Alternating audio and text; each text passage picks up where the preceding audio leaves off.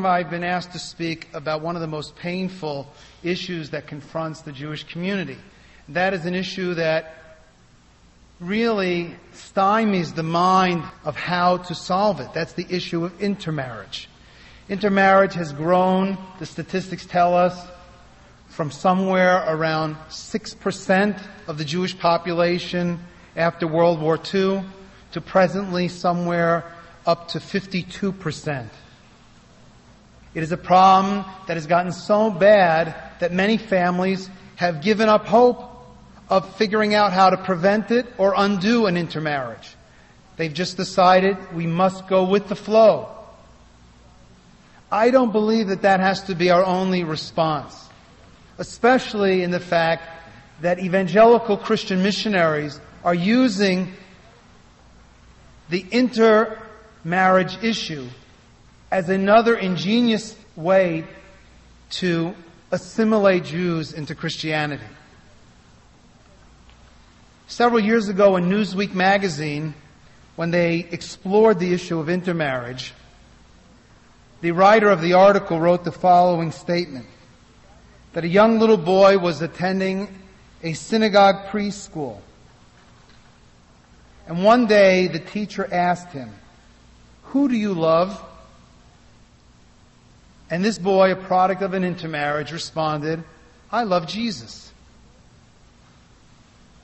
So for those that think that an intermarriage will simply allow people to go in their own paths and that the influences of Christianity will not affect them, that story powerfully points out that that's not the case.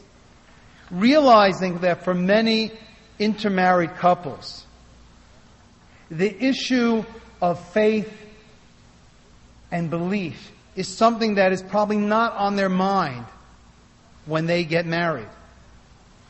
It's distant from their thoughts. And those of us in the room that have experienced that issue in our families or friends know that that's a fact. At some point in that relationship, the issue of faith and religion may come to the front of the issues in their marriage. I know a personal case in Los Angeles where a Jewish man who married a non-Jewish woman, he himself was so assimilated that the thought of even suggesting a conversion on her part was didn't even enter his mind to suggest it. There was absolutely no interest in faith or religion in his relationship. Ten years into the marriage, very happy couple in terms of non-religious issues, the wife's mother became ill. And while visiting her in the hospital, her memories of her childhood faith became aroused. And over a period of a year, she rediscovered her connection to God and to faith. And I think many of us would say that that's a very positive and good thing for this non-Jewish individual. She prayed with her mother. It gave her strength. When she presented this to her husband, he shrugged his shoulders and said, well, it's not for me. I'm not interested. Wanting something cohesive in their marriage, she sought help. She turned to a missionary group called Chosen People Ministries, who had recently published a newsletter with the cover saying intermarriage, a new witnessing frontier. And in the accompanying article to that magazine, just one sentence from it makes a very powerful statement. We in Chosen People Ministries are glad to provide a spiritual home for intermarried couples and their children where they can be affirmed and encouraged in their Jewish identities and at the same time of faith in Yeshua, quote, Jesus the Messiah. Their answer to the spiritual dilemma in an interfaith marriage is to give the couple both. They can be Jewish and Christian simultaneously, the same presentation that's been given by Jews for Jesus and missionaries to you, and to your neighbors, and to your friends and children. But now it's specifically being targeted at intermarried couples. What is the solution to intermarriage and to this particular problem? Of all the research that has been done, the only suggestion that has proven to be successful is to make the Jewish partner understand what it means to be Jewish. Answering the question of why be Jewish? Because if the person doesn't feel why they should be Jewish and understand being Jewish and feel a spiritual uplifting within their soul for being Jewish, then to tell them not to marry someone who's not Jewish means absolutely nothing to them. Recognizing this specific problem with intermarried couples being targeted by missionaries, the Jewish Community Foundation in Los Angeles funded Jews for Judaism with a grant of $35,000 to create a program that would reach out to interfaith couples who have already been married for years. It's already an accepted fact in their lives. And try to reach to them and inoculate them against this missionary argument and also show them that there is a community that cares for them, that will offer warmth to them. So working with interfaith experts throughout California, we came up with a web page and a program of lectures, which is our response to intermarriage and interfaith couples. We call the program one, two roads, one path. And for anyone who wants to see the web page, they can go to tworoadsonepath.com. It is something different than you've ever experienced before because it doesn't attack them. It doesn't condemn them. Because if you want to bring them closer, you must bring people closer with warmth. This campaign will be launched in full within the next month and hopefully will spread to our other centers throughout the world. But to tell you how, in a nutshell, that warmth and caring can help a person, I'll end with a short story.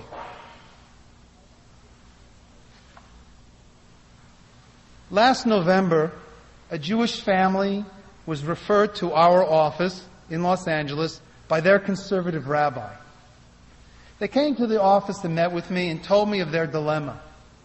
Their dilemma was that their son, Jonathan, a brilliant student at the University of California in San Diego, a junior, was dating a non-Jewish girl who was a Christian, and according to them, had now started to explore Christianity himself. They were beyond words the pain that they expressed to me. And they came seeking help. Their rabbi had referred them to Jews for Judaism as the resource that he knew of that could help them. And we figured out a way to make Jonathan feel comfortable coming to meet with me. It was interesting that they told me that one of his favorite pastimes was scuba diving, which happens to be one of mine. So when he finally called up and said, my parents want me to talk to you, I said, oh, about scuba diving? And he just said, scuba diving? How are you certified? He listed them off. We had a nice talk about that. And the barriers between us broke down and we really hit it off very well. He agreed that during winter break he would come to my home and meet with me. He showed up the last week of December to my home and spent six hours straight talking to me. We spoke about passages in the Bible that he had been studied, studying whether in Isaiah, in Daniel. We speak, spoke about the importance of analyzing every nuance of our Bible and how important it is. And then he asked me if I had a personal relationship with God. Did I really feel that God was touching my life? So I told them the story of how when my wife 22 years ago was expecting our first child, she went into labor 10 and a half weeks premature. We rushed her to the hospital and the doctors tried everything to stop the labor, but they couldn't. They came to me 15 hours after we were in the hospital and they said, Rabbi Kravitz, there's no way this child can survive. Uh, the baby is breached, the umbilical cord is around its neck, the lungs are not developed. We're just going to do a cesarean section to save your wife's life now. So my wife and I sat and we prayed to God for help. And as they took my wife into the operating room, I told her the story of the great Rav, Rabbi Schneur Zalman of Liadi, who on Yom Kippur ran from the synagogue to seek out a woman who was giving birth but didn't have any food or any heat in her home. And he found her and he made a fire and he cooked food and he helped deliver the baby and he saved that baby's life. And I said, in the merit of that great rabbi, Rabbi Schneur Zalman, perhaps God will also help us. Two hours later, as they rolled this small child, about this big, out to the emergency room with tubes in his arm and in nose, we were in shock.